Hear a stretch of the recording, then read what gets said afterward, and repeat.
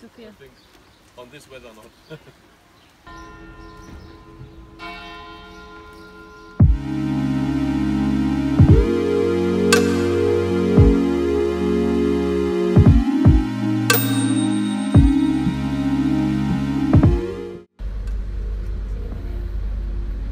Over?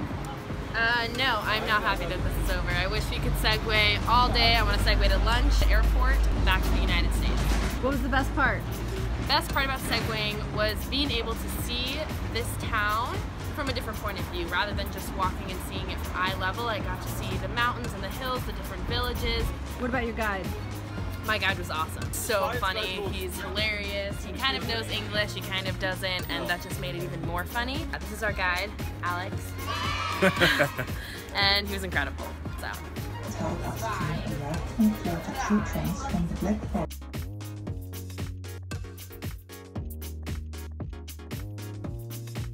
Forest. You know, they say they were the four musketeers, the five musketeers. One for all, all for one. And they, they tell you the story here why they were put into prison. Look for Vivat Crescat Floriat. This is Palais Royal. find this in the menu. And then you put it in the, and it was um, stored. Yeah, this I've never seen before. Ah, okay. Thank you. Dankeschön. You should enjoy before it gets.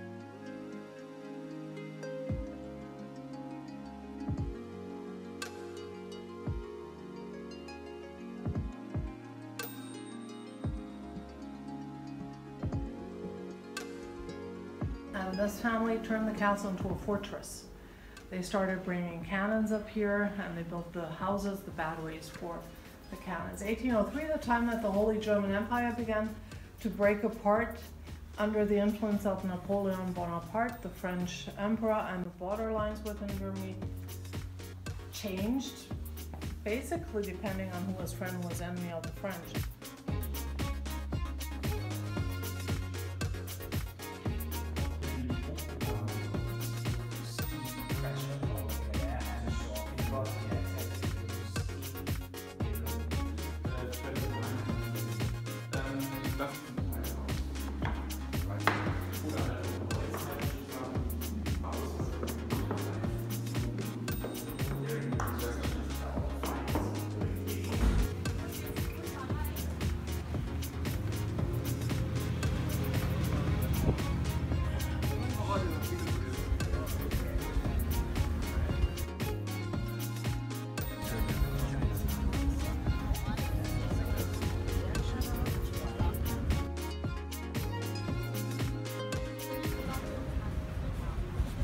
Grapes are white. This country is a white wine country.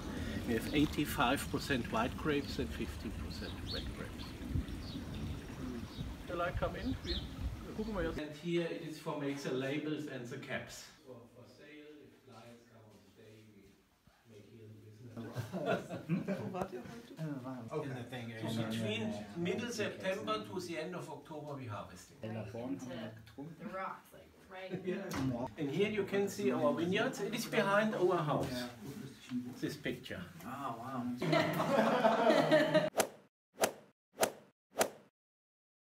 days after start, is it sweet?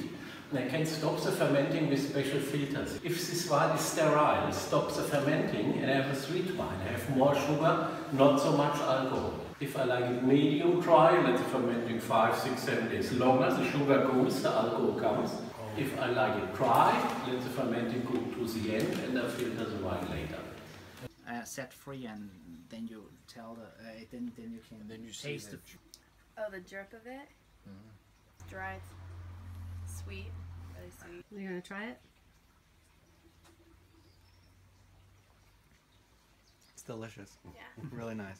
Is it Prost or Post? Prost. Post. Post. Post. Prost. In English is cheers. Cheers, yes.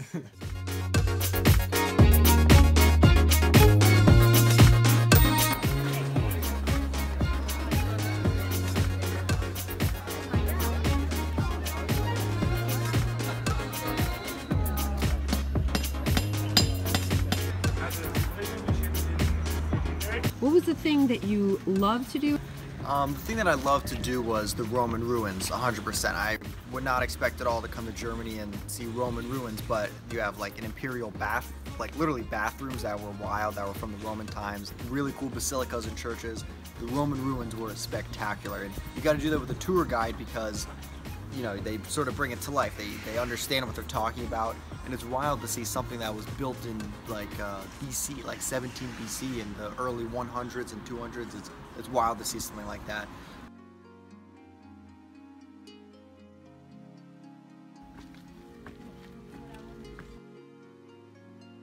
Let's give you a little tour of this restaurant.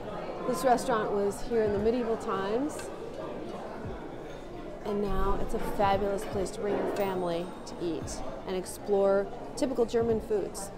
This is mashed potatoes with sauerkraut mixed in, totally delicious. This is a typical dish in Germany, Wurstsalat. Chicken wings, but a little bit different. It has more of a seasoned uh, salt kind of taste, and the french fries are a lot more fresh. This is a one of the many kinds of sausages available in a curry ketchup. And then for my vegan daughter, vegetables, super fresh vegetables. Really good. We're at Calcera, not just for ice cream and gelato and frozen yogurt, but for the famous spaghetti ice cream that we've been hearing so much about. This looks like spaghetti with the sauce on top, perfect for an Italian family. Does it taste like spaghetti? Just good strawberry ice cream. No, it looks like the one that's tripping me out is the is the chocolate on top. Looks like Parmesan cheese. It's coconut, right? No, Or that's, that's white chocolate? White, white chocolate, yeah. It was really good.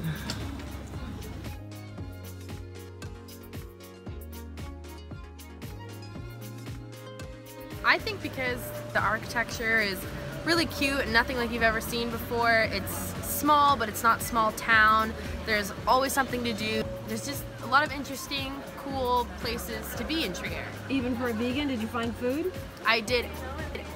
Germany in itself, and especially Trier, is amazing for vegans and vegetarians. It's not just all sausages. I love eating, and the food was incredible. It was like blowing me away because not only do they have sausages, but even the Italian food. We went to the same Italian restaurant twice, and we've only been here for three days. So Italian food, German food was all really good. And how was Um, the shopping?